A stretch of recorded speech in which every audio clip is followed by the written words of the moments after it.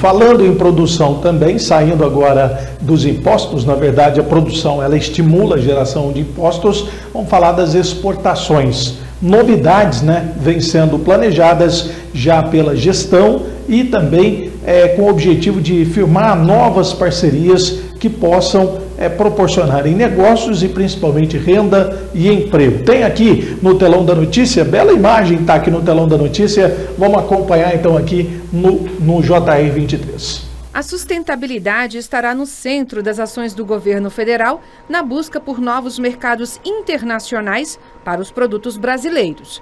A afirmação foi feita pelo vice-presidente da República e ministro do Desenvolvimento, Indústria, Comércio e Serviços durante a posse da nova diretoria da Agência Brasileira de Promoção de Exportações, a APEX. O Brasil vai mudar a sua imagem do mundo, de um devastador, de desmatador da Amazônia para um país onde a questão das mudanças climáticas é central, a transição energética é central, o compromisso com a descarbonização é central e isso vai atrair muito investimento para o Brasil.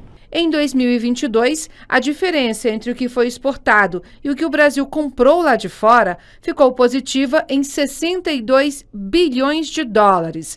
Já a corrente de comércio cresceu 21,5% no ano passado e chegou a 607 bilhões e 700 milhões de dólares. Para o novo presidente da Apex, é necessário crescer mais e com melhor participação dos estados das regiões Norte e Nordeste no conjunto das exportações. Quando você olha para a geografia, o grande exportador é o Sudeste, depois o Centro-Oeste, depois o Sul. E o Nordeste e o Norte estão numa situação muito atrás. E a Apex, enxergando isso, vai tentar colaborar com as empresas para que elas possam aumentar a sua sua exportação, entrar no mercado de exportação, como quer o, o nosso ministro, mas para isso vai ter que ter uma presença maior da Apex dentro do Brasil. Dos 335 bilhões de dólares exportados pelo Brasil em 2022, a agropecuária foi responsável por 75 bilhões, ou seja, 22% do valor total.